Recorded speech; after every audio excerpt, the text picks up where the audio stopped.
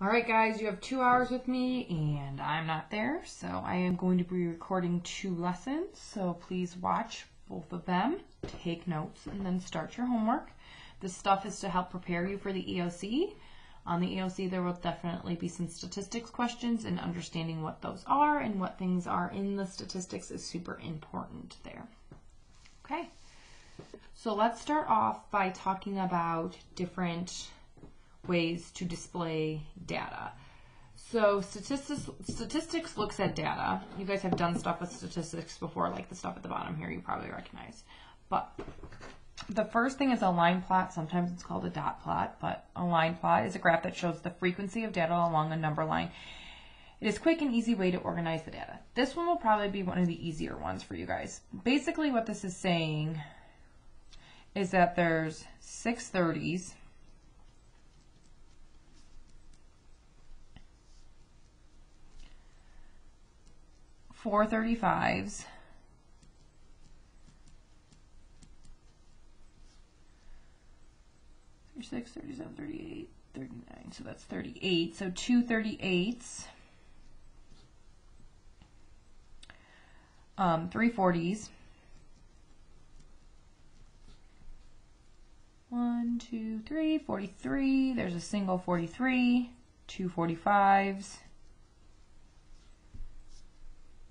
46, 47, 48.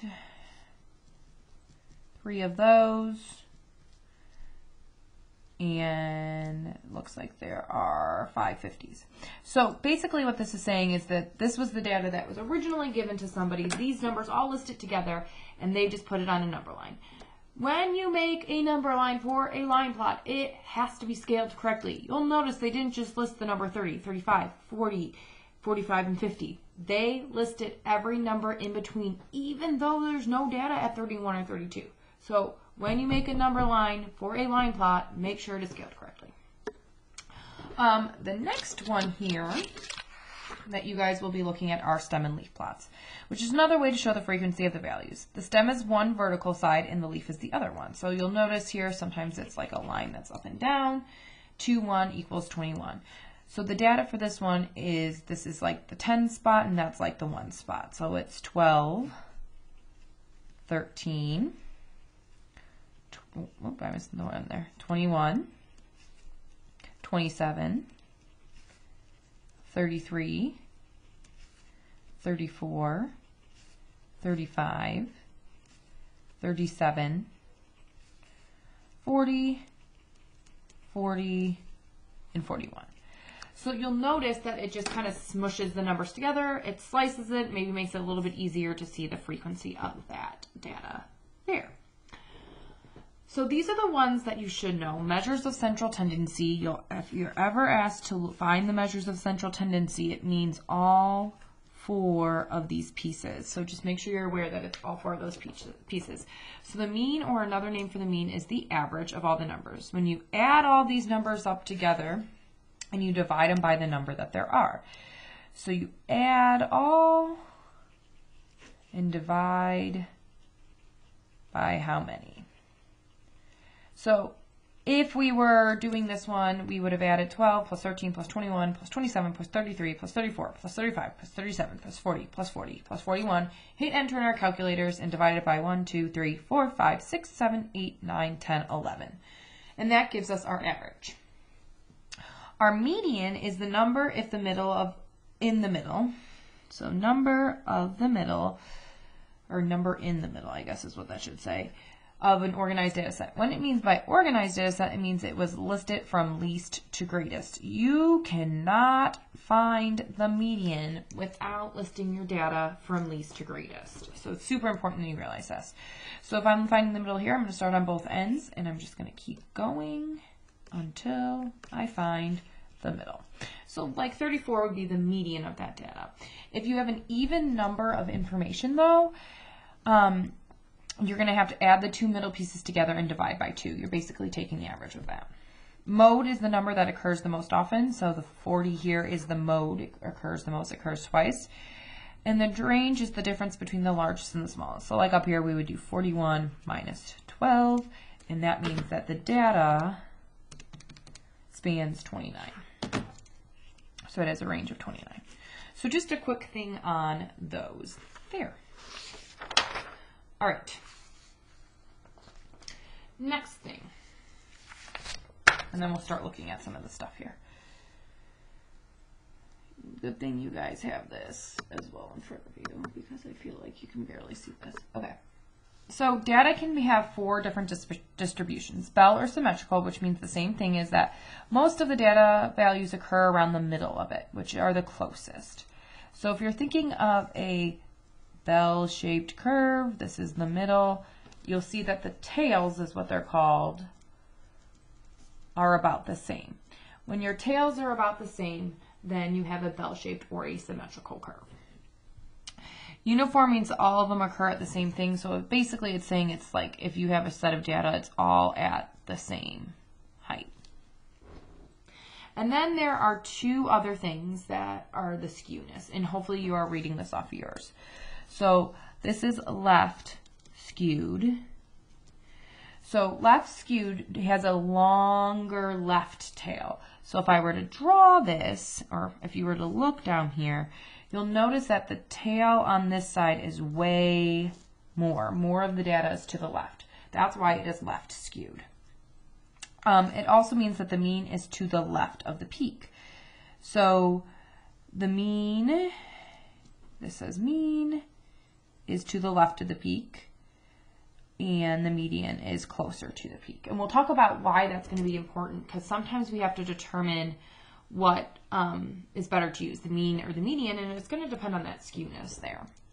So if it's right skewed, your distribution is going to be to the right. You see how my tail is going to the right more, so it's right skewed. My tail is going to the left more, so it's left skewed.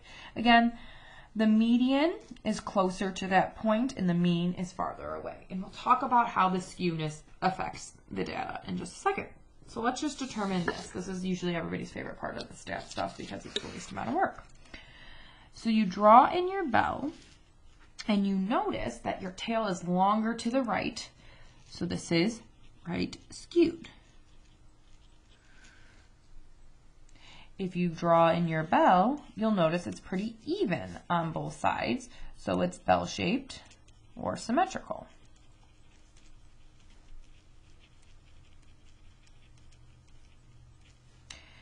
And if you draw in your bell here, you'll notice that there's a longer tail to the left. So this is left skewed. And then finally, they're all about the same height, which makes it uniform. So that is just talking about your skewness. And again, it's just dependent on the tail. You'll notice it's longer to the right, longer to the left. All about the same, bell-shaped. So that's where all that comes from. Okay. This is called a box and whisker, and we'll look at these in a little bit too, but if you do your tail this from the center, so here's your center here, it's actually your median and we'll talk about that in a little bit. Your center, your median, you'll see that your tail is way longer to the right. So this is right skewed. This one is pretty much a perfect bell. So this is bell or symmetrical.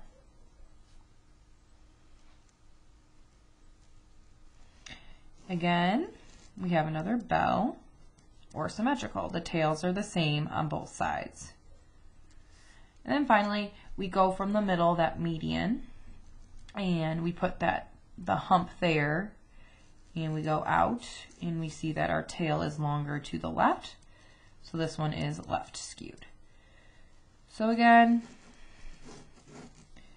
it's all based on those tails at the end there. So if they're longer to the right, it's right skewed. If they're longer to the left, it's left skewed. And if they're about even, it's bell-shaped or symmetrical. All right, so here's what we're going to do now. We are going to talk about the measures of central tendency. So when it tells you to identify the mean, median, mode, and range, these are all measures of central tendency. If it ever asks you to find the measures of central tendency, it needs to find all four of those pieces, mean, median, mode, and range. So we're going to take from the stem and leaf plot, we have to write out all of our data. And we have to list it from least to greatest. The nice thing about the stem and leaf plot is it's already in order. So the stem up front is zero, so that means we have one, one, two, two, three, four, four, four, four. So that's one, two, three, four. Okay, good. Five, eight. And then we have our stem and our leaf, which makes 10, and I have three of those. I have two 11s, a 13, a 17, and a 19. So now my new stem is 20, uh, 2, so it's 20 something. So I have 25, 25, 27, 27. I have two 28s and two 29s. Hopefully not missing any of my data here. So I keep going. And now my stem is a 3. So I have a 30. I have three 31s. Three 32s a 34, and a 35. Then my stem is 4, so I'm doing 40s. So I have 40, 44, 48, 49. Then I have a 5, so I have 52, 56, 57, 57, and 58 and then I have 63 and 66. So I have all of my data listed from least to greatest, which is important for finding things like our range and our median and other things like that. So you will notice here that when you do this data here, we are going to have to find the mean, which means add it all up and divide how many there are. So I have to count how many there are. There's 1, 2, 3, 4, 5, 6, 7, 8, 9, 10, 11, 12, 13, 14, 15, 16, 17, 18, 19, 20, 21, 22, 23, 24, 25, 26, 27, 28, 29, 30, 31, 32, 33, 34, 35, 36, 37, 38, 39, 40, 41, 42, 43, 44, 45, 46, 47. So whatever I get here, I'm going to have to divide by 47 if I count it right. Let's hope I did. So I have to add them all up now. So I have 1 plus 1 plus 2 plus 2 plus 3 plus 4 plus 4 plus 4 plus 4 plus 5 plus 8 plus 10 plus 10 plus 10 11 twice 13 17 19 25, 25, 27, 27, 28, 28, 29, 29, 30, 31, three times. Oops, that's not 31.